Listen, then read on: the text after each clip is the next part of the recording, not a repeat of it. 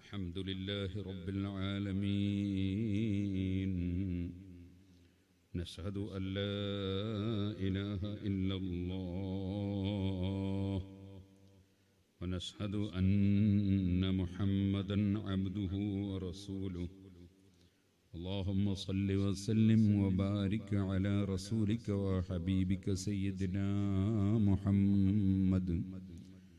وعلى آل وصحاب سيدنا ومولانا محمد وعلى جميع الأنبياء والمرسلين ومن اقتدى بهديهم إلى يوم الدين. أما بعد فأعوذ بالله من الشيطان الرجيم. بسم الله الرحمن الرحيم. شهر رمضان الذي أنزل فيه القرآن.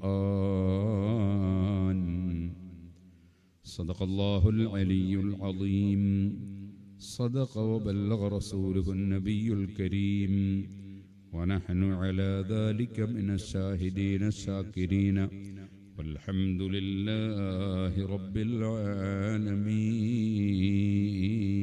العالمين ആദരണീയരായ പണ്ഡിതന്മാർ മോമിനിയങ്ങൾ മോമിനാത്തുകൾ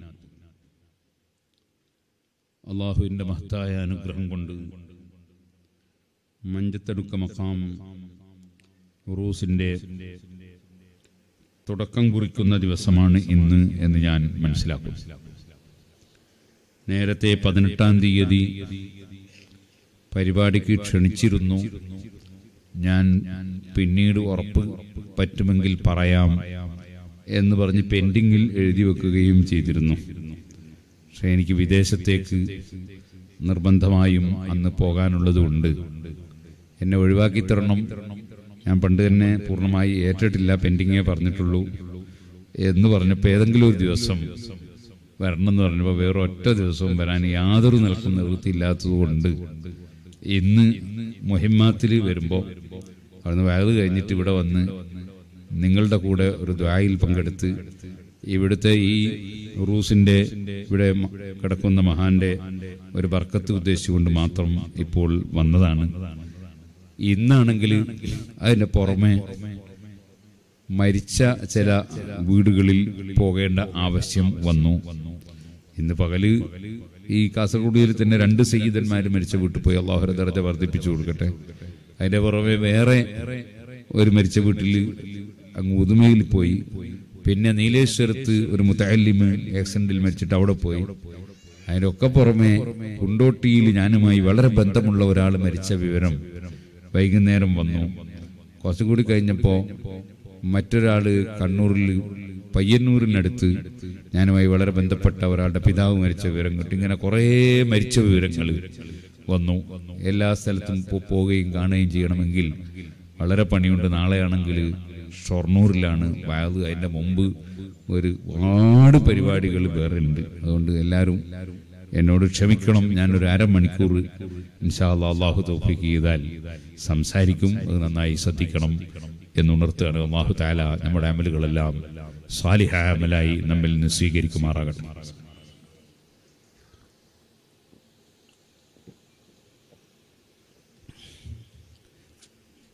ബാബു മൗഇളത്തിൽ മുഹദ്ദിസ് ഇൻദൽ ഖബ്രി വഖുഊദി അസ്ഹാബിഹി ഹൗലഹു എന്ന് സഹീഹുൽ ബുഖാരിയിൽ ഒരു അധ്യായമുണ്ട്. ആ അധ്യായത്തിന്റെ അർത്ഥം ഖബറിന്റെ അടുക്കൽ വെച്ച് വഅദ് പറയുന്നതിൽ പറയുന്ന അധ്യായം. നബി അലഹി വസ്ലമങ്ങൾ ഖബറിന്റെ സമീപത്ത് വെച്ച് വഅദ് പറഞ്ഞ ഹരീസാണ് ഇമാം ബുഖാരി അതിൽ റിപ്പോർട്ട് ചെയ്യുന്നത്. അപ്പൊ ഇവിടെ ഒരു മഹാൻ അന്ത്യവിശ്രമം കൊള്ളുന്നു അവിടുത്തെ ഖബറിന്റെ സമീപത്ത് വഅദ് നടക്കുക. ഇത് ഹരീസ് കൊണ്ട് സ്ഥിരപ്പെട്ടതാണ്. മഹാന്മാരായ ആളുകളെ അനുസ്മരിക്കുക എന്നത് ഇസ്ലാമിന്റെ നിലനിൽപ്പിന് ആവശ്യവും അനിവാര്യവുമാണ്. അതുകൊണ്ടാണ് നിങ്ങൾ പരിശുദ്ധ ഖുർആൻ എടുത്തു നോക്കുക അബ്ദന അയ്യൂബ്. ഫിൽ കിതാബി മറിയം. ഇങ്ങനെ അമ്പിയാക്കളെയും ഔലിയാക്കളെയും പ്രത്യേകം ഓർക്കാൻ വേണ്ടി അനുസ്മരിക്കാൻ വേണ്ടി കൽപ്പിക്കുന്ന ആയത്തുകൾ നമുക്ക് പരിശുദ്ധ ഖുർആാനിൽ കാണാൻ സാധിക്കും. മറിയം ബീബി അള്ളാഹു അന്ന വലിയത്താണ് നബിയല്ല. നബിയൻ പെണ്ണുങ്ങളെയൊന്നും അള്ളാഹു താര നബിയാക്കി അയച്ചിട്ടില്ല. കാരണം പെണ്ണുങ്ങൾക്ക് ആണുങ്ങളെ പോലെയല്ല അവരുടെ സാഹചര്യം എന്ന് നമുക്കെല്ലാവർക്കും അറിയാവുന്നതാണ്. ആണും പെണ്ണും ഒരുപോലെയാണെന്ന് പറഞ്ഞ കൂട്ടരൊക്കെ പെണ്ണുണ്ട് പക്ഷേ അത് ഒരു വെറും വെറുതെ എങ്ങനെ പറയാന്ന് മാത്രമേ ഉള്ളൂ. അവർക്കും അത് നടപ്പാക്കാൻ ഒരു കാലത്തും കഴിയൂല. ഇവിടെ നിങ്ങളെ നാട്ടിൽ ഇപ്പൊ ഞാൻ വന്നപ്പോ ഇവിടെ ഒരു നല്ലൊരു മരമുണ്ട്. നല്ല തണലുള്ളൊരു മരം. അതിന്റെ അപ്പുറത്ത് തെങ്ങുണ്ട്. തെങ്ങിന്റെ മുകളിൽ തേങ്ങ ഉണ്ട്. എത്ര പെണ്ണുങ്ങളുടെ ഇവിടെ ഇന്നേ വരെ ആരെങ്കിലും തെങ്ങും കയറി തേങ്ങ വറച്ചായിട്ട് നിങ്ങൾ ആരോ വേണ്ടി അതെന്തുകൊണ്ടാ? എല്ലാ പെണ്ണുങ്ങളും സുന്നികളായതുകൊണ്ടൊന്നുമല്ല എത്ര മുസ്ലിം പെണ്ണുങ്ങന്മാരുടെ ഇവിടെ ഏതെങ്കിലും ഒരു പെണ്ണുങ്ങൾ തെങ്ങ് കയറിയിട്ട് തേങ്ങ വരയ്ക്കുന്ന നിങ്ങൾ കണ്ടിരുന്നു. അടക്ക വരയ്ക്കുന്ന കണ്ടിരുന്നു. അപ്പൊ ആണും പെണ്ണും ഒരുപോലെ ആണോ എന്ന് പറഞ്ഞുകൊണ്ട് നടക്കൊന്നുമില്ല വമാക്കാനത്തിന് ബിയും കത്തുന്ന ഒരു പെണ്ണാവുമ്പോ അവർക്ക് പുരുഷന്മാരുടെ സാഹചര്യം ഇല്ല. അതുകൊണ്ടാണ് സൂറത്ത് ആലു ബഹുമാനപ്പെട്ട ഹന്നത്ത് ബീബി റളിയല്ലാഹുഅൻഹയുടെ വാക്ക് ഖുർആൻ ഉദ്ധരിച്ചിട്ടുണ്ട്. വലൈസ ദക്കറു കൽ ഉൻസ. ആണ് പെണ്ണിനെ പോലെയല്ല. ആണിന് പറ്റുന്ന സാഹചര്യങ്ങൾ പലതും പെണ്ണിന് പറ്റാത്തത് വരും. നമുക്കെല്ലാവർക്കും അറിയാവുന്ന കാര്യമാണ്. അപ്പോ എത്രയോ ആളുകൾ കടലിൽ പോകുന്ന തൊഴിലാളികൾ പെണ്ണുങ്ങന്മാരും കടൽ കടൽ തൊഴിലാളികളായിട്ട് മീൻ പിടിക്കാൻ പോകലുണ്ട്. അതെന്തേ? അത് ഒരു വലിയ ഭാരമേറിയ ഒരു പരിപാടി അത് സ്ത്രീകളെ കൊണ്ട് താങ്ങാൻ വളരെ പ്രയാസമാണ്. ഇതുപോലെ ധാരാളം വിഷയങ്ങൾ നമുക്ക് കാണാൻ സാധിക്കും. സ്ത്രീകളും പുരുഷന്മാരും ഒരുപോലെയല്ല എന്ന് ഖുർആൻ പറഞ്ഞ് വളരെ നൂറ് നൂറ് ശതമാനം ശരിയായ ഒരു ആശയമാണ്. എന്ന് മാത്രമല്ല സ്ത്രീകളെ സംബന്ധിച്ചിടത്തോളം പുരുഷന്മാരുടെ സംരക്ഷണം വേണം. അതുകൊണ്ടാണ് പരിശുദ്ധ ഇസ്ലാമിൽ ഒരു സ്ത്രീയെ സംബന്ധിച്ചിടത്തോളം കുട്ടിക്കാലത്ത് ബാപ്പാന്റെ സംരക്ഷണം കുറച്ച് വലുതായി കല്യാണം കഴിച്ചാൽ പിന്നെ ഭർത്താവിന്റെ സംരക്ഷണം പിന്നെ കുറച്ച് കഴിഞ്ഞാൽ പിന്നെ ഭർത്താവ് മരിച്ചുപോയ മക്കളെ സംരക്ഷണം. അവരൊരു സ്ഥലത്ത് പോവുകയാണെങ്കിൽ പോലും അവർക്ക് പ്രൊട്ടക്ഷന് വേണ്ടി ഒരാൾ വേണം. പ്രൊട്ടക്ഷന് വേണ്ടി ആരായിരിക്കണം? ആരെങ്കിലും പോരാ? ആരെയും കൂട്ടി പോകാൻ പറ്റില്ല. തൊടാനും കാണാനും പറ്റുന്ന ഒരാളെ കൂടെ മാത്രമേ പോകാൻ പാടില്ല. ആ തുസാഫിറും മൃഗത്തും ഒരു യാത്ര ചെയ്യുകയാണെങ്കിൽ അല്ലാതെ തൊട്ടടുത്ത് വീട്ടിൽ പോകുന്നതിനെ പറ്റിയല്ല. യാത്ര പോവുകയാണെങ്കിൽ നബി മഹറമുൻ ഒരു കാണാനും തൊടാനും പറ്റുന്ന ആളില്ലാതെ പോകാൻ പാടില്ല. അതിന് ചിലർ പറയും ഇസ്ലാമിൽ പെണ്ണുങ്ങൾക്ക് സ്വാതന്ത്ര്യം ഇല്ലാഞ്ഞിട്ടാണ് സ്വാതന്ത്ര്യം ഇല്ലാഞ്ഞിട്ട് പെണ്ണുങ്ങളെ ബഹുമാനിച്ചതാണ് നിങ്ങൾ ആലോചിച്ച് നോക്ക് ഞാനിപ്പോ ഇവിടെ വന്ന് പോകുന്നു ഒറ്റ പോലീസും ഇല്ല നാ മുഖ്യമന്ത്രി ഒന്നും അങ്ങനെ വരട്ടെ? കൈ പറ്റില്ല അയാൾ വരണമെങ്കിൽ അയാൾക്ക് പ്രൊട്ടക്ഷൻ വേണം. പ്രൊട്ടക്ഷൻ ഇല്ലാതെ വരാൻ പറ്റില്ല അത് മുഖ്യമന്ത്രിനെ നിന്ദിച്ചതൊന്നല്ല അയാളെ സ്വാതന്ത്ര്യം ഇല്ലാണ്ടാക്കിയൊന്നല്ല മറിച്ച് അയാളെ ബഹുമാനിച്ചാണ്. രാജ്യത്തിന്റെ മുഖ്യമന്ത്രി നാട്ടിന്റെ മുഖ്യമന്ത്രിയായപ്പോ അല്ലെങ്കിൽ വേറെ ഏതെങ്കിലും മന്ത്രിയായപ്പോ അയാൾക്ക് ബഹുമാനം കൊടുത്താണ്. പ്രതിപക്ഷ നേതാവിനുണ്ടാവും. അതൊരു ബഹുമാനം കൊടുത്തതാണ്. പ്രൊട്ടക്ഷൻ വേണമെന്നാണ്. അപ്പോഴേക്ക് അയാളെ സ്വാതന്ത്ര്യം നശിപ്പിച്ചു കളഞ്ഞാണെന്ന് പറഞ്ഞാൽ വിഡ്ഢികൾ വിഡ്ഢികളെ വർത്താനാണ്. സ്ത്രീകൾക്ക് അള്ളാഹു തല കൊടുത്ത ബഹുമാനാണ്. ബഹുമാനം ബഹുമാനമായിട്ട് തന്നെ കാണണ്ടേ? ഇപ്പൊ ഉദാഹരണത്തിന് നമ്മൾ ഒരു പച്ചക്കറി കടയിൽ കയറി അങ്ങനെ ഒരു കിലോ മുരിങ്ങാക്കായ വാങ്ങി. മുരിങ്ങന്റെ കായ വാങ്ങി. എന്നാ ആ പച്ചക്കറി കടയിൽ നിന്ന് നമുക്ക് ഇങ്ങനെ പൊതിഞ്ഞു തരിക അത് പൊതിഞ്ഞു തരാം മുട്ടുപൊക്കലിന്റെ ഇടയിൽ മറിച്ചിട്ടാ. എന്നാലും മദ്യത്തിൽ മാത്രം ഒരു കഷ്ണം കടലാസ് കൊണ്ട് ഇങ്ങനെ ഇങ്ങോട്ട് തരും. മുട്ടുപൊക്കലിന്റെ ഇടയിൽ മാത്രം മറിച്ചിട്ട്. എന്നാ നിങ്ങൾ ഒരു ജ്വല്ലറി കയറിയിട്ട് സ്വർണം വാങ്ങി നോക്ക്. എന്നാ മുരിങ്ങാക്കായ പൊതിയും പോലെയാ പൊതിയ. മുട്ടുപൊക്കലിനിടയിൽ മാത്രം മറക്കൽ അല്ലല്ല. പിന്നെ അത് ആദ്യം ഒരു ചെറിയ കടലാസ് ഉണ്ട് കൊണ്ട് നീ പിന്നെ വേറൊരു പൊതിയിൽ നീ പിന്നെ ഒരു പെട്ടിയിലിട്ട് പിന്നെ ഒരു സഞ്ചിയിലിട്ട് ഇങ്ങനെ. അതെന്താ കാരണം? ഇത് പൊന്നായതുകൊണ്ടാ ഇതുപോലെ ആണുങ്ങൾക്ക് മുട്ടുപൊക്കലിനിടയിലുള്ള സ്ഥലം മറച്ചാൽ മതി. പെണ്ണുങ്ങളാകും അതുപോലെ അത് ശരിക്കും പൊന്നുപോലെ സൂക്ഷിക്കണം. അപ്പോഴേക്ക് പൊന്നിന് സ്വാതന്ത്ര്യമില്ല എന്ന് പറയില്ല പൊന്നിന് ബഹുമാനിച്ചല്ലേ അപ്പൊ സ്ത്രീകൾക്ക് ബഹുമാനം കൊടുത്ത മതമാണ് ഇസ്ലാം. സ്ത്രീകളെ നിന്ദിച്ച മതമല്ല ഇസ്ലാം. ഇസ്ലാമിന്റെ ഏത് നിയമങ്ങളും അത് ബുദ്ധിപരമാണ് യുക്തിപരമാണ്. ഇസ്ലാം എന്ന് പറഞ്ഞാൽ തന്നെ എന്താണ്? ഇസ്ലാം എന്ന് പറഞ്ഞാൽ ദീം എന്ന് പറഞ്ഞാൽ തന്നെ അതിന്റെ ഡെഫിനിഷൻ അതിന്റെ നിർവചനം എന്താണ്? അതിന്റെ നിർവചനം ദീൻ എന്ന് പറഞ്ഞാൽ തആല സ്ഥാപിച്ചത്. ലോകസ്ഥമായ അള്ളാഹു സ്ഥാപിച്ച മതം അതാണ് ഇസ്ലാം ദീൻ. ബുദ്ധിയുള്ളവരെ നയിക്കുന്നത്. ബുദ്ധിയുള്ളവരെ നയിക്കുന്നു മഹ്മൂദ് ആരെയും ആൾ കാണിച്ച് പേടിപ്പിച്ചിട്ടോ തൂക്കി ചൂണ്ടി ഒന്നല്ല ഓരോരുത്തരുടെ ഇഷ്ടപ്രകാരം. ആരെയും നിർബന്ധിച്ച് കടത്തുന്ന പരിപാടി ഇസ്ലാമിലില്ല. മഹ്മൂദ് എവിടത്തേക്കാ നയിക്കുന്നത്? ഇലാ മാ ഹുവ ഖൈറുൽ ലഹും ബിദ്ദാത്ത് എല്ലാ വിധത്തിലും ഹൈറായ കാര്യത്തിലേക്ക് നയിക്കുന്നു. അങ്ങനെ ബുദ്ധിയുള്ളവരെ നയിക്കുന്ന പ്രസ്ഥാനമാണ് ഇസ്ലാം. അൽ അദ്ദീനു ഇന്ന ദീന ഇൻദല്ലാഹിൽ ഇസ്ലാം. അള്ളാഹുവിന്റെ അടുക്കൽ സ്വീകാര്യോഗ്യമായ ദീൻ അത് അൽ ഇസ്ലാം ഒന്ന് മാത്രമാണ്. ആ ഇസ്ലാം അതിന്റെ ഒരു നിയമത്തിനും ഒരു ന്യൂനതയും കാണിക്കാൻ ഒരാൾക്കും കഴിയില്ല. ഞാൻ ഈ അടുത്ത് തബാറക്ക സുഹൃത്ത് ഏഴ് ദിവസം വാതു പറഞ്ഞു. അതിൽ ഞാൻ വിശദമായി പറഞ്ഞിട്ടുണ്ട്.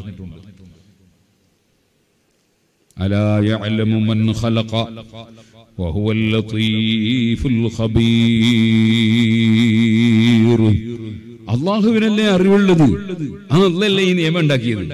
അള്ളാഹിന്റെ നിയമത്തെക്കാൾ അപ്പുറം വേറൊരു നിയമമുണ്ട്. ആ നിയമമാണ് ഏറ്റവും നല്ല നിയമം. വിവരമില്ലാത്തവൻ പലതും പറയും. അവരില്ലാത്ത അങ്ങനെ തന്നെയാണ്. വിവരമില്ലാത്തവർ അങ്ങനെ തന്നെയാണ്. നമ്മൾ ചെറിയ കുട്ടികളെ കാണുന്നത് വിവരമില്ലാത്തതുകൊണ്ട് ഉമ്മ അവർ തീക്കൊള്ളി വലിക്കുന്നത് അടുപ്പ് തീ കത്തിക്കാൻ വേണ്ടി തീക്കൊള്ളി വലിക്കുമ്പോൾ ഉമ്മ സമ്മതിക്കൂല. അപ്പൊ കുട്ടികൾക്ക് ദേഷ്യം പിടിക്കും. കുട്ടികൾ പലതും പറയും. ഉമ്മാക്കൊരു വിവരമില്ല എന്നെല്ലാം പറയും ചിലപ്പോൾ ഉമ്മനെ കടിക്കുകയൊക്കെ ചെയ്യും. വിവരമില്ലായിട്ടാണ്.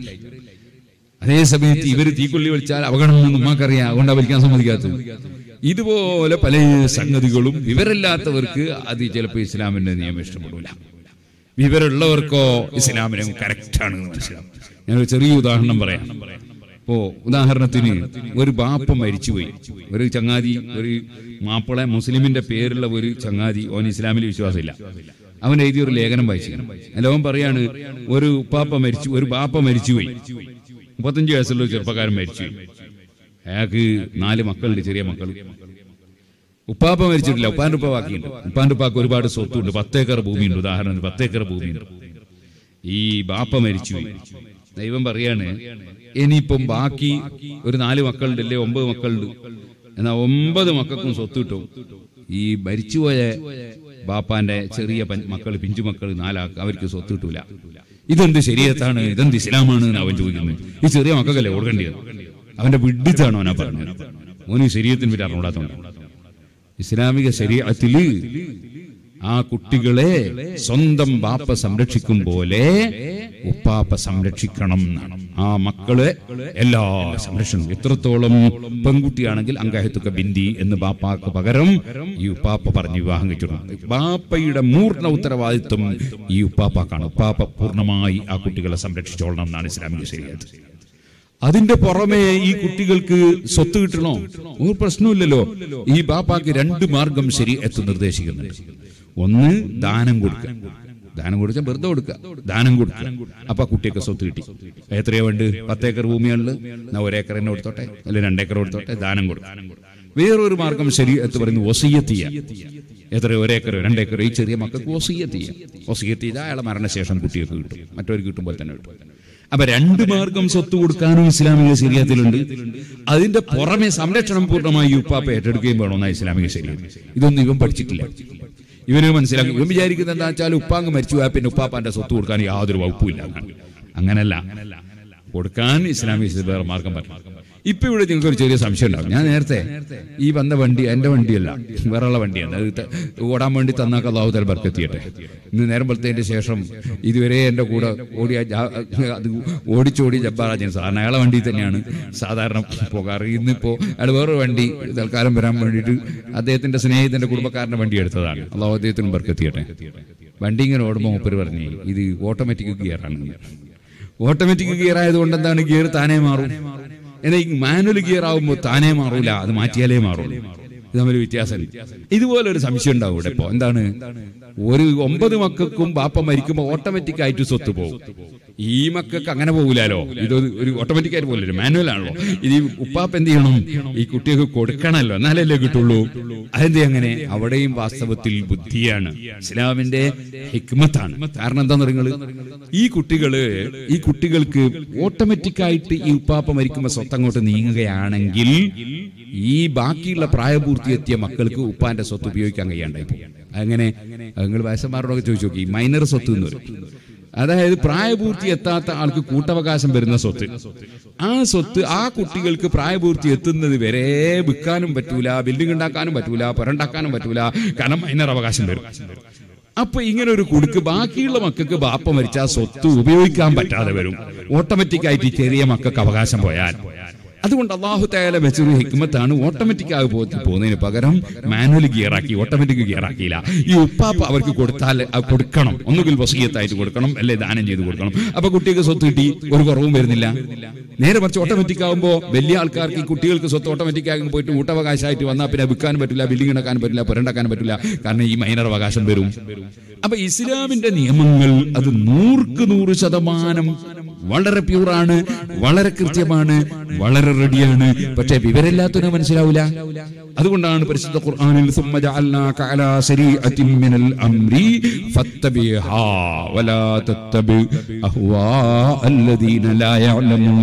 വിവരമില്ലാത്ത ആളുകളുടെ തോന്നിവാസം പിന്തുടരരുത്. അള്ളാഹു തന്ന നിയമം ഫോളോ ചെയ്തോളണം.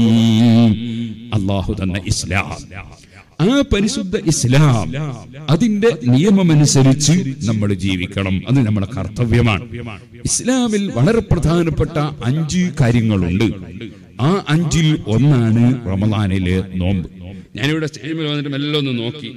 അപ്പോൾ റമദാനിലേക്കുള്ള മുന്നൊരുക്കം എന്നാണ് ഇവിടെ വിഷയം കൊടുത്ത് കാണുന്നത്. അതുകൊണ്ടാണ് ഞാൻ സഹ്റു റമദാൻ അല്ലതി മുൻസിലഫിഹിൽ ഫീഹിൽ ഖുർആൻ എന്ന ആയത്ത് ഓതാൻ കാരണം.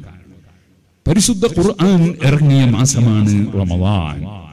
അത് തന്നെ മതിയല്ലോ. അതിന്റെ മഹത്വം കാരണം എന്താണ്?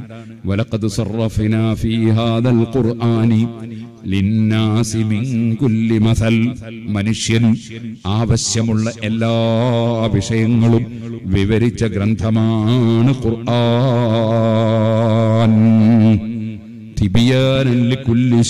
എല്ലാ വിഷയങ്ങളും ഖുർആനിലുണ്ട്.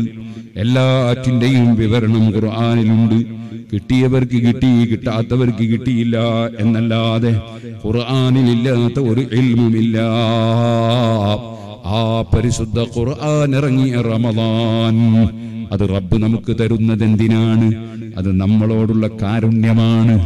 അവന്റെ അടിമകളായ നമ്മോട് അള്ളാഹുവിനുള്ള കാരുണ്യം അങ്ങനെ ഒരു മഹത്തായ മാസം തന്നിട്ട് ആ മഹത്തായ മാസത്തിൽ ധാരാളം സൽക്കർമ്മം ചെയ്ത് പടച്ചറബിനോട് പൊട്ടിക്കരഞ്ഞ് തോപ ചെയ്ത് അള്ളാഹുവിന്റെ പൊരുത്തത്തിന് വേണ്ടി ഭക്ഷണവും വെള്ളവും വികാരങ്ങളൊക്കെ ഒഴിച്ച് റബ്ബിന് വേണ്ടി അതാ പത്തോ പന്ത്രണ്ടോ പതിനാലോ മണിക്കൂർ എത്രയാണോ സുബിഹി മുതൽ മകരിബി വരെയുള്ള സമയം അള്ളാഹുവിന് സമർപ്പിച്ച് ഓരോ സെക്കൻഡിലും ഇബാദത്ത്. എന്ന് പറഞ്ഞാൽ നോമ്പുകാരൻ നോമ്പ് നീയത്ത് ചെയ്ത് സുബിഹി ആകുന്നതോടുകൂടി നോമ്പ് എന്ന ഇബാദത്തിൽ അവൻ കടന്നു കഴിഞ്ഞു ഇനി നോമ്പ് തുറക്കുന്നവരെ അവൻ ഇബാദത്താ. അകിലെടുക്കാവും അങ്ങാടി പോകുന്നുണ്ടാവും മാർക്കറ്റിൽ പോകുന്നുണ്ടാവും മീൻ വാങ്ങുന്നുണ്ടാവും ചോറ് വെക്കുന്നുണ്ടാവും ചോറ് പിന്നെ വൈകുന്നേരത്തെ നോമ്പ് തുറക്കുന്നുണ്ടാക്കുന്നുണ്ടാവും അപ്പുറത്ത് നിന്ന് പല അന്നേരം എല്ലാം അവനൊരു പ്രധാനപ്പെട്ട ഇബാദത്തിലാണ്. ഇബാദത്തിലായിക്കൊണ്ട് ഇനി പണി നോമ്പ് തന്നെ ഇബാദത്തിലാണ് അവൻ. ഈ നോമ്പ് വേറെയുള്ള ഇബാദത്ത് പോലല്ല. നോമ്പ് തന്നെ ഇബാദത്ത് വെറുതെ അല്ല അള്ളാഹു എപ്പോഴും കേൾക്കുന്ന സോമുലിന്ന് അള്ളാഹു തല പറഞ്ഞു. നോമ്പ് എനിക്കുള്ളതാണ്. എന്താ പറഞ്ഞത്? അങ്ങനെ പറയാൻ കാരണം എന്താ അറിയോ? നോമ്പ് തന്നെ ഇബാദത്ത് അള്ളയും മനുഷ്യനും തമ്മിലും മാത്രമുള്ള ഒരു ഇടപാടാണ്. അതുകൊണ്ട് ഞാൻ പറഞ്ഞുതരാം? നിസ്കരിക്കുന്നത് നമുക്ക് ഫോട്ടോ എടുക്കാലോ? ഹജ്ജ് ചെയ്യുന്ന ഫോട്ടോ എടുക്കാലോ? സക്കാത്ത് കൊടുക്കുന്ന ഫോട്ടോ എടുക്കാം. നിങ്ങൾ നോമ്പ് നോമ്പെടുക്കുന്ന ഒന്ന് ഫോട്ടോ എടുത്താൽ നോമ്പെടുക്കുന്ന നിങ്ങൾ ഒരു ഒരു ക്യാമറ പിടിച്ചിരിക്കും. ഒരാൾ നോമ്പെടുക്കുന്നത്. ക്യാമറ പിടിക്കാൻ കഴിയില്ല. നോമ്പെടുക്കുന്ന ക്യാമറ പിടിക്കാൻ കഴിയില്ല. അതെന്തേ? അത് അള്ളയും അവനും തമ്മിൽ മാത്രമുള്ള ഒരു ബന്ധമാണ്. ആ മഹത്തായ നോമ്പ് എന്ന പ്രധാനപ്പെട്ട ഇബാദത്ത് സുബഹി മുതൽ മഹരിബ് വരെ തുടരുകയാണ്. നമ്മൾ കക്കൂസ് പോകുമ്പോൾ ഇബാദത്ത് തന്നെയാണ്. നോമ്പ് എന്നുള്ള ഇബാദത്ത് തന്നെയാണ്. നമ്മൾ ബാത്റൂമിൽ പോകുമ്പോൾ അന്നേരം ഇബാദത്ത് തന്നെയാണ്. എവിടെ പോകുമ്പോൾ വിവാദത്തിലായി മനുഷ്യൻ ജീവിക്കുകയാണ് അതൊരു വല്ലാത്ത ഇബാദത്താണ് നോമ്പ്. ആ നോമ്പ് എന്തിനാണ് അള്ളാഹുത്തെ നമുക്ക് തന്നത്? അത് തന്നത് ഹുദല്ലിന്ന ഖുർആൻ അള്ളാഹുത്തല ഇറക്കിയത് ഹുദല്ലിന്നാസ് ജനങ്ങളെ സന്മാർഗത്തിലേക്ക് നയിക്കാനാണ്. നോമ്പ് അള്ളാഹു സുബ്ഹാനഹു എന്തിനാണ്? നമ്മുടെ ദോഷങ്ങളൊക്കെ പുറത്ത് നമ്മളൊന്ന് കഴുകി വൃത്തിയാകാനാണ്. അതിനെന്ത് വേണം? അത് ഒരു അതിഥിയാണ്. ഈ മാസങ്ങളൊക്കെ അതിഥികളാണ്. അള്ളാഹു നമ്മളെ അയക്കുന്ന അതിഥികളാണ്. അതുകൊണ്ടാണ് എല്ലാ മാസത്തിന്റെയും തുടക്കത്തിൽ മൂന്ന് ദിവസം നോമ്പക്കൽ സുന്നത്തിൽ എല്ലാ മാസവും.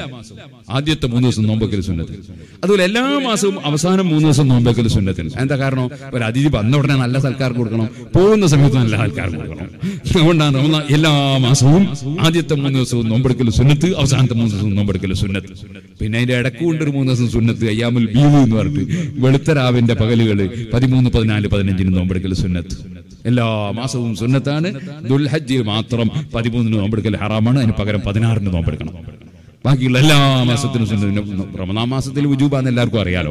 ബാക്കിയുള്ള എല്ലാ മാസത്തിലും പതിമൂന്ന് പതിനാല് പതിനഞ്ചിന് നോമ്പെടുക്കൽ സുന്നത്ത്. അപ്പൊ പിന്നെ ബറാത്തിന്റെ അന്ന് നോമ്പെടുക്കൽ സുന്നത്തുണ്ടോ എന്നുള്ള മസ്കിൽ ആരും ചോദിക്കണ്ടില്ല എല്ലാ മാസത്തിലും പാഞ്ച് നോമ്പെടുക്കൽ സുന്നത്ത് പിന്നെ ബറാത്തിന്റെ അന്നൊന്നും പറയേണ്ടിയുണ്ടോ? എന്തായാലും സുന്നത്ത് തന്നെ. ബറാത്തിന്റെ അന്ന് നോമ്പെടുക്കൽ സുന്നത്ത് തന്നെ.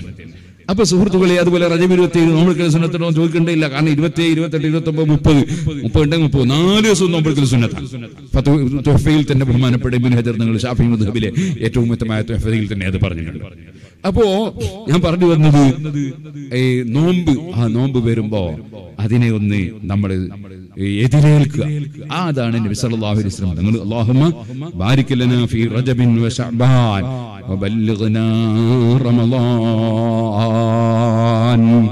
റജബ് വരുമ്പോ തന്നെ ബർക്കത്തിന് വേണ്ടി ദുആ തുടങ്ങി. ശഅബാനിൽ ബർക്കത്ത് ചെയ്യണം. അതുപോലെ റജബിൽ ബർക്കത്ത് ചെയ്യണം. വബല്ലിഗ്നാ റമളാൻ ഞങ്ങൾക്ക് നീ എത്തിക്കണം.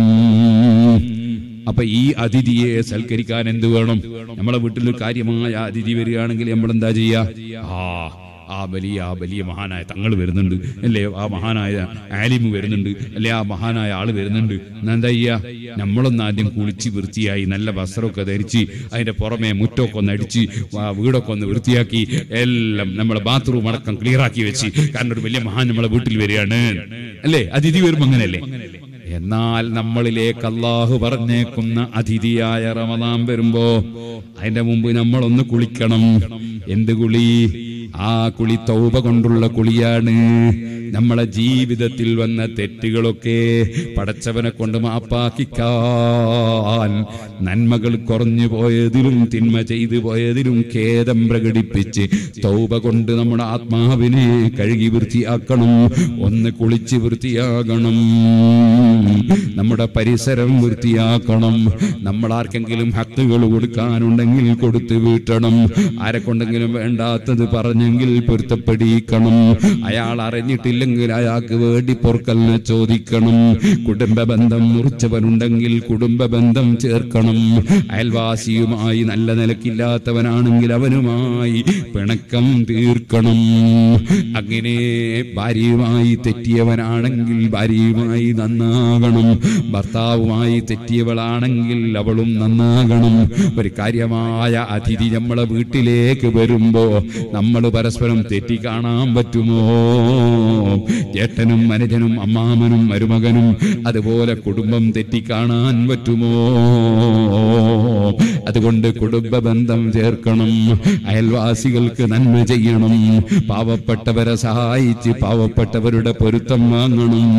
അങ്ങനെ തുടങ്ങി സൽക്കർമ്മങ്ങളിൽ നമ്മുടെ സമയങ്ങൾ ചെലവഴിക്കണം. അള്ളാഹു അറിഞ്ഞേക്കുന്ന മഹത്തായ അതിഥി ആ അതിഥി വന്നങ്ങ് പോന അതിഥിയല്ല.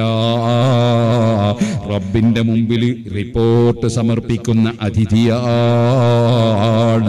അതുകൊണ്ടല്ലേ നബി സല്ലല്ലാഹു അലൈഹി വസല്ലം പറഞ്ഞത്? റമദാന് വന്നിട്ട് ദോഷം വെറുപ്പിക്കാത്ത മനുഷ്യൻ റബ്ബിന്റെ റഹ്മത്തിൽ നിന്ന് ദൂരീകരിക്കപ്പെടട്ടെ എന്ന് ജിബിരിയിൽ അലൈഹിസ്സലാം ദുആ ചെയ്തിട്ട് ആമീൻ പറയൂ നബിയേ. ആമീൻ പറയിപ്പിച്ചില്ലേ? അതുകൊണ്ട് ആ മഹത്തായ അതിഥിയെ സ്വീകരിക്കാൻ നമ്മളെ മനസ്സുകൊണ്ട് നമ്മൾ ഒരുങ്ങണം. മനസ്സ് അള്ളാഹുവിലേക്ക് തിരിക്കണം. അള്ളാഹു മാത്രമേ കൊടുക്കുന്നവനുള്ളൂ. അള്ളാഹ് മാത്രമേ തടയുന്നവനുള്ളൂ. അവന് മാത്രമേ അധികാരമുള്ളൂ.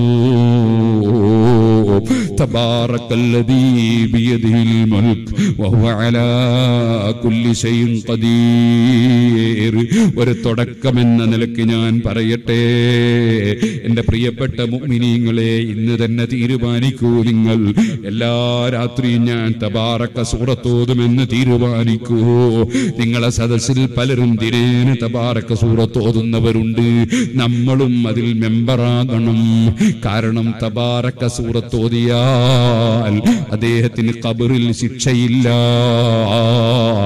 വലിയ കാവൽ റബ്ബ് കൊടുക്കുമെന്ന് മുഹമ്മദ് അലൈഹി വസല്ലം പറയുന്നു. വയത് കേട്ട് തിരിച്ചു പോയാൽ പോരാ.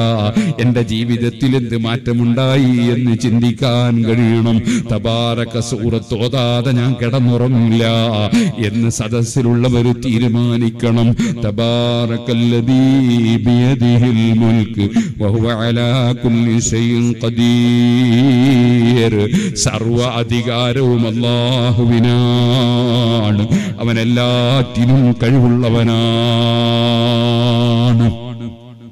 ആ അള്ളാഹുവിലേക്ക് കൽബ് തിരിയണം അള്ളാഹുവിനെ സ്നേഹിക്കണം അള്ളാഹു ബഹുമാനിച്ചതിന് ബഹുമാനിക്കണം അള്ളാഹുവുമായി ബന്ധപ്പെട്ട മനസ്സുണ്ടാകണം അള്ളാഹുവാണ് കൊടുക്കുന്നവൻ അവനാണ് തടയുന്നവൻ. അത് ഉറച്ച് വിശ്വസിച്ച് മുന്നോട്ട് നീങ്ങണം.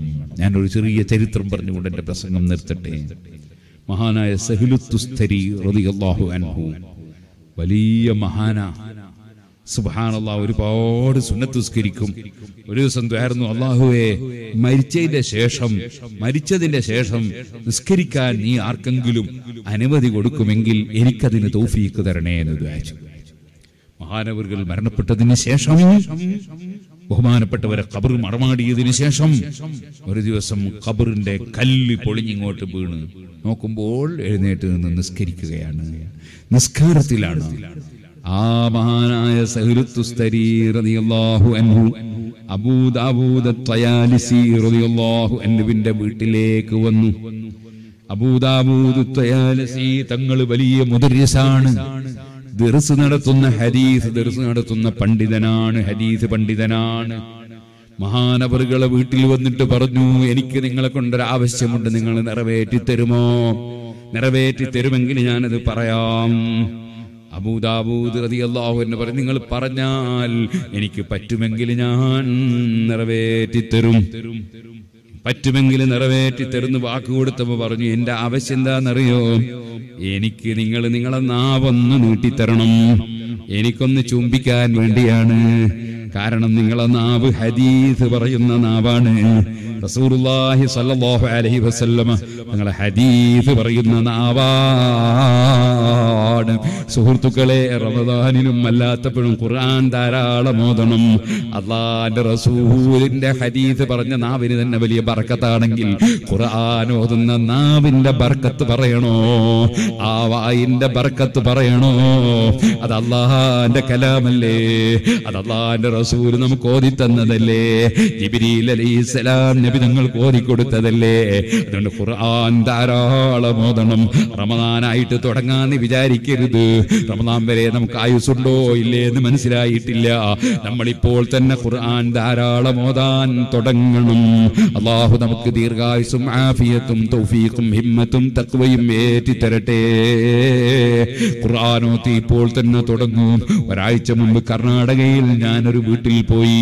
അതേ സിറാജുദ്ദീൻ എന്ന ഒരു ചെറുപ്പക്കാരൻ ഇരുപത്തിരണ്ടോ ഇരുപത്തിമൂന്നോ വയസ്സ്. സുബഹാനല്ലാ എഞ്ചിനീയറാണ്. വർക്ക് നടത്തുമ്പോൾ എന്തോന്ന് മാർക്ക് ചെയ്യുന്നതിനിടയിൽ വണ്ടി വന്ന് തട്ടി മരിച്ചുപോയി സിറാജുദ്ദീൻ.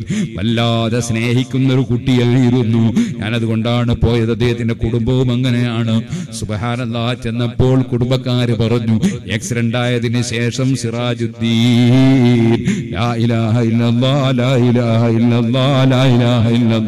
വേറെ ഒരു بالله. ആ തൗഹീദിന്റെ കലിമത്ത് ചൊല്ലി ചൊല്ലി അങ്ങ് മരിച്ചുപോയി. പ്രായം ഇരുപത്തിമൂന്ന്. ഓ ചെറുപ്പക്കാരെ ഏത് സമയത്തും മരണം പിടികൂടാം. ആ സിറാജുദ്ദീൻ സുന്നത്ത് നോമ്പെടുക്കുന്ന ചെറുപ്പക്കാരനായിരുന്നു. തഹജ്ജുദ് നിസ്കരിക്കുന്ന ചെറുപ്പക്കാരനായിരുന്നു. അലിമീങ്ങളെ സ്നേഹിക്കുന്ന ചെറുപ്പക്കാരനായിരുന്നു. നല്ലവരായി നല്ലതുമായി മുന്നോട്ട് പോയാൽ യൗമത്തെ ജിദു കുല്ലു നഫ്സിൻ ഖൈരിൻ മുഹ്ദറാ. നല്ല കാര്യം ചെയ്യുന്നവൻ അത് കണ്ടെത്തിക്കുക തന്നെ ചെയ്യും. സംശയം വേണ്ട. അള്ളാഹുവേ മരിച്ചുപോയ എല്ലാവരെ കബറിലും നീ സന്തോഷം നൽകണേ. അല്ലാ ഓ സുഹൃത്തുക്കളെ നമ്മുടെ കൽബല്ലാഹുവിലേക്ക് തിരിയണം. സൽക്കർമ്മങ്ങൾ റമദാൻ വരെ കാത്തിരിക്കാമെന്ന് ധരിക്കരുത്. നമ്മൾ സൽക്കർമ്മങ്ങൾ ചെയ്തുകൊണ്ടേയിരിക്കണം. ദുഷ്കർമ്മങ്ങൾ നിർത്തിക്കളയണം. അള്ളാഹുവിനോട് തൗപ ചെയ്ത് നന്നാകണം. ഈ അതിഥിയെ സ്വീകരിക്കാൻ ഒരുങ്ങണം. ഇരിക്കട്ടെ മഹാനായ സഹലുത്തുസ്തരി അൻഹു. മഹാനവറുകളെ കുറിച്ച് ഞാൻ പറഞ്ഞല്ലോ. ആ മഹാനായ സഹലുത്തുസ്തരി റളിയല്ലാഹു അൻഹുവിന്റെ അടുക്കൽ ഒരു കൂട്ടർ വരികയാണ്. എന്താ വരുന്നത്? ഭരണാധികാരിക്ക് സുഖമില്ല. എല്ലാ ചികിത്സയും ചെയ്തിട്ടും രോഗം മാറുന്നില്ല. ആരോ പറഞ്ഞു ദ്വാ ആളെ കൊണ്ട് ദ്വാ ചെയ്യിപ്പിക്കാം. എന്നാ പിന്നെ സഹലുത്തുസ്തരി ദ്വാ കിജാബത്തുള്ള ആളാന്ന് കേട്ടിട്ടുണ്ട്. അതിന്റെ പേരിൽ സഹലുത്തുസ്തരി തങ്ങളോട് പറയാണ് നിങ്ങളൊന്ന് രാജാവിന്റെ കൊട്ടാരത്തിൽ വരണം. മഹാനവരിൽ ഭീകരവാദിയല്ല ഭീകരവാദിയല്ല. അതേ തന്നെ തീവ്രവാദിയല്ല വർഗീയവാദിയല്ല. ഭരണാധികാരിയുടെ വീട്ടിലേക്ക് പോവുകയാണ്. അതേ അധികാരിയെ ഞാൻ വഴങ്ങൂല ഞാൻ പോലീസ് സ്റ്റേഷനിൽ വിളിച്ചാ പോകൂല കോടതി നോട്ടീസ് ഒന്നും ഹാജരാവൂല. അങ്ങനെ പറയാൻ പാടില്ലല്ലോ. നേരെ രാജാവിന്റെ കൊട്ടാരത്തിലേക്ക് ചെന്നു. ചെന്നപ്പോൾ പറഞ്ഞു സുഖമില്ല ദ്വാ ചെയ്യണം. സഹലുത്തുസ്തരി തങ്ങൾ പറഞ്ഞു നിങ്ങൾക്ക് ഞാൻ ദ്വാ ചെയ്തിട്ട് ഉത്തരം കിട്ടൂല. നിങ്ങൾക്ക് വേണ്ടി ദ്വാ ചെയ്താൽ ഉത്തരം കിട്ടൂല. കാരണം നിങ്ങൾ കുറെ നിരപരാധികളെ ഇവിടെ അറസ്റ്റ് ചെയ്തിട്ടുണ്ട്. അവരെ ജയിലിൽ നിന്ന് വിട്ടേക്കാതെ ഞാൻ നിങ്ങൾക്ക് വേണ്ടി ദ്വാ ചെയ്താൽ ഉത്തരം കിട്ടൂല. ഉടനെ തന്നെ രാജാവ് ഓർഡർ ചെയ്തു. എല്ലാവരെയും വിട്ടയച്ചു. മഹാനായ സഹൃത്തുസ്തരീ എന്ന് പറഞ്ഞു തെറ്റ് ചെയ്യുന്നവന് വേണ്ടി പ്രാർത്ഥിച്ചാൽ ഉത്തരം കിട്ടൂല.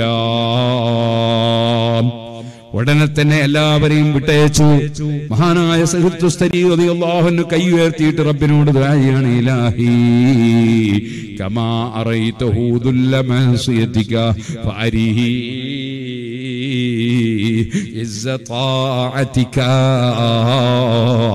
അല്ലാഹുവേ നിന്നോട് തെറ്റ് ചെയ്തതിന്റെ നിന്യത നീ ആ രാജാവിന് ഭരണാധികാരിക്ക് കാണിച്ചു കൊടുത്തില്ലേ? അതേപോലെ നിനക്ക് താഴത്ത് ചെയ്ത് നിന്നെ വഴിപ്പെട്ടാലുള്ള ഇസ്സത്തും നീ ഒന്ന് കാണിച്ചു കൊടുക്കണേ. അള്ളാഹും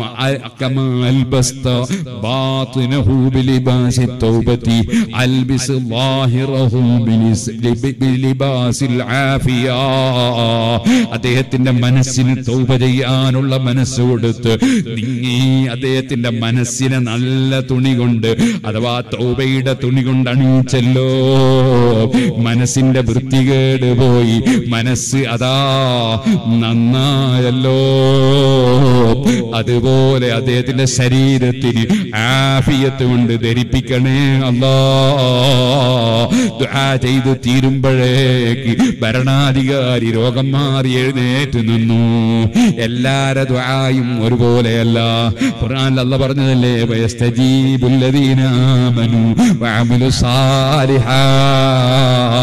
ഈമാനും സൽക്കർമ്മമുള്ള മഹാന്മാരെ കൊടനെ ഉടനെ ഉത്തരമാണ് സുഹൃത്തുക്കളെ രോഗം മാറിപ്പോയി.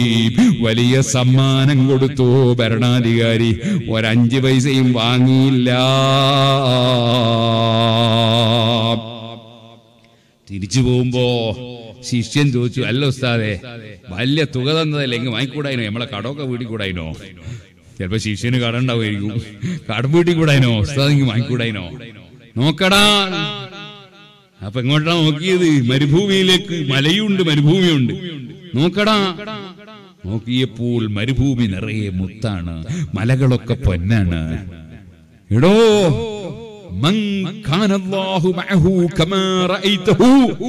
നീ കണ്ടതുപോലെ അല്ല ഒരാളെ കൂടെയുണ്ടെങ്കിൽ അവന് പിന്നെ വേറൊരുത്തൻ കൊടുക്കുന്നതിന്റെ പിന്നാലെ പോകണോ. ഓ സുഹൃത്തുക്കളെ സഹലുത്തുസ്തരി റളിയല്ലാഹു അൻഹു. അപ്പൊ നമ്മൾ തെറ്റുകളിൽ മാറി നല്ലവരായി തഖ്വയോടുകൂടെ ജീവിച്ചാൽ അള്ളാഹു താല നമുക്ക് സമ്മാനം തരും. അള്ളാഹു നമ്മളെ ദുഹാക്കു ഉത്തരം തരും. അള്ളാഹു നമ്മളെ നന്നാക്കും. അള്ളാഹു നമ്മളെ നന്നാക്കുമാറാകട്ടെ.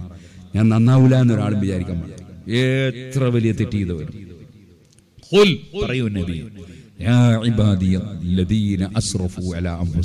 തെറ്റ് ചെയ്തു പോയ അടിമകളെ എന്റെ അടിമകളെ വിളിക്കൂ നബിയെ. അള്ളാന്റെ ഒരു കാരുണ്യം നോക്കി നിങ്ങൾ. നമ്മളെ മക്കൾ ആരെങ്കിലും നമ്മൾ നമ്മൾ പറഞ്ഞതിന് എതിര് ചെയ്തിട്ടുണ്ടെങ്കിലേ ദേഷ്യം പിടിച്ചിട്ട് നമ്മളെ മോൻ പിന്നെ നമ്മൾ പറയൂല. ഭാര്യന്റെ അടുത്ത് എന്റെ മോൻ ചെയ്ത പണി അറിയോ എന്നാ പറയാം. നിന്റെ മോൻ ചെയ്ത പണിയാണ് നമ്മളൊരു ബന്ധമില്ലാത്ത മതിയാ പറയാം. നിന്റെ മകൻ ചെയ്ത പണി അറിയോ എന്റെ മോനാന്ന് അറിയില്ല നമ്മൾ അങ്ങനല്ലേ നമ്മൾ? അതേ സമയത്ത് അള്ളാന്റെ ഒരു കാരുണ്യം നോക്കുക അള്ളഹാനോട് തെറ്റ് ചെയ്തവരെ പറ്റൂ. അല്ല പറയാ കുൽ പറയൂ നബി യാ ഇബാദി എന്റെ അടിമകളെ എന്ന് വിളിക്കൂ നബിയെ. അള്ളാഹുവിന്റെ ഒരു കാരുണ്യം അത്ര കാരുണ്യമുള്ളത്. വേറെ ആരെങ്കിലും ഉണ്ടോ? അറഹമുറാഹിമിനല്ലേ അള്ളാഹ് ആ പ്രിയമക്കേണ്ടത് പ്രിയം വെക്കേണ്ടത്? ആ അള്ളാനെയല്ലേ അനുസരിക്കേണ്ടത്? അവനല്ലേ നമ്മളെ ജീവിതം സമർപ്പിക്കേണ്ടത്? എന്റെ അടിമകളെ അല്ലദീന തെറ്റ് ചെയ്തു പോയ അടിമകളെ എന്ന് വിളിച്ചിട്ട് പറയൂ നബിയെ. ലാ മിർ റഹ്മത്തില്ല നിങ്ങൾ അള്ളാഹുവിന്റെ റഹ്മത്തിൽ നിന്ന് നിരാശരാകരുതേ. എത്ര വലിയ തെറ്റ് ചെയ്തവനും ഞാൻ നന്നാവൂല എന്ന് വിചാരിക്കരുത്. ചെയ്തു പോയ തെറ്റിൽ മനസ്സുകൊണ്ട് ഖേദിച്ച് മാപ്പ് പറഞ്ഞാൽ അള്ളാഹു എല്ലാ തെറ്റുകളും പുറത്തു തരുന്ന രാജാവാണ്. ആ രാജാവിനെ സ്നേഹിച്ച് ആ രാജാവിലേക്ക് കൽബ് തിരിച്ച് ജീവിതത്തിൽ ഇന്ന് വരെ വന്നുപോയ കറകളൊക്കെ ഒന്ന് കഴുകി ആ അള്ളാഹു തേല പറഞ്ഞേക്കുന്ന റമദാനാകുന്ന അതിഥിയെ സ്വീകരിക്കാൻ ഒരുങ്ങണേ ഉമ്മമാരെ. ആ റമദാനിനെ സ്വീകരിക്കാൻ ഒരുങ്ങണേ യുവാക്കളെ. ആ റമദാനിനെ സ്വീകരിക്കാൻ ഒരുങ്ങണേ കാരണവന്മാരെ. അതിനിടയിൽ നമ്മളങ്ങ് മരിച്ചു പോയാലും അള്ളാഹുവിന് നമ്മളുടെ നീയത്തറിയാമല്ലോ. അള്ളാഹു നമുക്ക് അള്ളാഹുവിന്റെ പൊരുത്തത്തിൽ ദീർഘായുസും ആഫിയത്തും ഹിമ്മത്തും തൗഫീഖും ഏറ്റിത്തരട്ടെ. എല്ലാവരും എഴുന്നേറ്റ് നിൽക്കണം. അതാ നമ്മിൽ നിന്ന് മരണപ്പെട്ടു പോയ മുഴുവൻ ആളുകളെ പേരിലും ഒരു ഫാത്തിഹയും സൂറത്ത് ഓതിയിട്ട് നമുക്ക് ദുആ ചെയ്യണം. ഇന്ന് മരണപ്പെട്ടു പോയ സയ്യിദന്മാരുണ്ട്. ആറ്റത്തങ്ങളടക്കമുള്ള സയ്യിദന്മാരുണ്ട്. സുബ്ഹാനല്ലാ ഞാൻ തീരെ ഇവിടെ നേരത്തെ ആരോ പറഞ്ഞു മുമ്പ് ഇവിടെ വന്നിരുന്നു പ്രസംഗിച്ചിരുന്നു എന്ന് പറഞ്ഞു. ഞാൻ ഓർമ്മ വളരെ കുറഞ്ഞ ഒരാളാണ്. ചില വിഷയത്തിലല്ല നല്ല ഓർമ്മ തരും ചില വിഷയത്തിൽ ഓർമ്മ വളരെ കുറയുന്ന ആളാണ്. വന്നത് എനിക്ക് ഓർമ്മയില്ല. എന്നോട് എന്റെ കൂടെയുള്ള സഖാഫി പറഞ്ഞു ഈ അടുത്തൊരാൾ ഇത്യാടിയിൽ വന്നിരുന്നു. അയാൾ വന്നിട്ട് പറഞ്ഞു പറഞ്ഞു പോലും ആറ്റത്തങ്ങളെടുത്ത് പോയപ്പോ പേരോട് അബ്ദുറഹ്മാൻ സഖാഫിനെ പോയി കാണണം എന്ന് പറഞ്ഞിരുന്നുവെന്ന് ഇന്ന് എന്നോട് വണ്ടിയിൽ നിന്നൊരാൾ പറഞ്ഞു. അങ്ങനെ വളരെ സ്നേഹിച്ച വളരെ നമ്മൾ ആദരിക്കേണ്ട ഒരു മഹാനാണ്. അല്ലാഹു ജല്ല ജലാലുഹു. അദ്ദേഹത്തിന്റെ കബറിൽ സന്തോഷം നൽകട്ടെ. അതുപോലെ മരണപ്പെട്ടു പോയ മുഹമ്മദ് തങ്ങൾ എന്നാണ് പേരെന്ന് ഞാൻ ഓർക്കുന്നു ഹദാദ് തങ്ങൾ. അതുപോലെ മരണപ്പെട്ടു പോയ ഒരുപാട് ആളുകൾ ഞാൻ നേരത്തെ പറഞ്ഞു മുഹമ്മദ് മുസ്ലിയാർ കുണ്ടോട്ടിയിൽ വല്ലാതെ സ്നേഹിച്ച നല്ല ഒരു മനുഷ്യൻ. അങ്ങനെ തുടങ്ങി മരിച്ചുപോയ ചെറുപ്പക്കാരുണ്ട് പണ്ഡിതന്മാരുണ്ട് സയ്യിദന്മാരുണ്ട്. എന്റെ കുടുംബത്തിൽ എന്റെ ഉമ്മയുടെ ജേഷ്ഠത്തിയുടെ മകൻ മൂന്ന് നാല് ദിവസം മുമ്പ് ഉംറക്ക് പോയി. മദീനയിലെത്തി ഉംറ കഴിഞ്ഞ് മദീനയിലെത്തി സലാത്തി ചൊല്ലിക്കൊണ്ടങ്ങ് മരിച്ചുപോയി. അങ്ങനെ എത്രയോ ആളുകൾ നമ്മിൽ നിന്ന് വിട പറഞ്ഞുപോയി. നമ്മുടെ ഉമ്മ ബാപ്പമാര് മരിച്ചവരുണ്ട് കുടുംബങ്ങൾ മരിച്ചവരുണ്ട് ഉസ്താദുമാര് മരിച്ചവരുണ്ട്. ബാഹു എല്ലാവരുടെ കബറിലും മുമ്പ് കാലത്ത് ഇവിടെ വന്ന് വാൾ പറഞ്ഞിരുന്ന കാലത്ത് ജീവിച്ചിരുന്ന പലരും മരിച്ചു പോയിട്ടുണ്ടാകും അവരുടെ എല്ലാം കബറിൽ സന്തോഷം നൽകണേ അല്ലാ ഇന്ന് ജീവിച്ചിരിക്കുന്ന ഞങ്ങൾക്ക് ഇവിടെ പള്ളിയും മദ്രസകളൊക്കെ നോക്കി നടത്തുന്ന അതിന്റെ ഭാരവാഹികൾക്ക് അവരോട് സഹകരിക്കുന്നവർക്ക് സ്നേഹിക്കുന്നവർക്ക് സഹായിക്കുന്നവർക്ക് ഈ ഉറൂസുമായി ബന്ധപ്പെട്ട് പ്രവർത്തിക്കുന്ന വളണ്ടിയർമാർക്ക് ഇതുമായി ബന്ധപ്പെട്ട് നേർച്ചകളും സദക്കകളും നൽകുന്നവർക്ക് വിദേശത്തുള്ളവർക്ക് നാട്ടിലുള്ളവർക്ക് എല്ലാവർക്കും സർവ ഹൈറിന്റെ വാതിലും തുറക്കണേ അല്ലാ. സാലിഹീങ്ങളെ സ്നേഹിച്ചവരിൽ നിങ്ങളെ ഉൾപ്പെടുത്തണേ അല്ലാ. എല്ലാവരും ഫാത്തിഹ അനന്തരം മുദ്വാർക്കണം ഇലാ ഹദറത്തിൻ നബി സയ്യിദിന മുഹമ്മദിൻ സല്ലല്ലാഹു അലൈഹി വസല്ലം വഇലാ അഹ്ലിൽ ഖൈരി കുല്ലിഹിം അജ്മഈൻ ഖുസൂസൻ ഇലാ ഹദറത്തി മൻ ദുഫിന ഫീ ഹാദിഹിൽ المقبرة الفاتحة أعوذ بالله من الشيطان الرجيم بسم الله الرحمن الرحيم الحمد لله رب العالمين الرحمن الرحيم مالك يوم الدين إياك نعبد وإياك نستعين اهدنا الصراط المستقيم صراط الذين أنعمت عليهم غير المغضوب عليهم ولا الضالين آمين بسم الله الرحمن الرحيم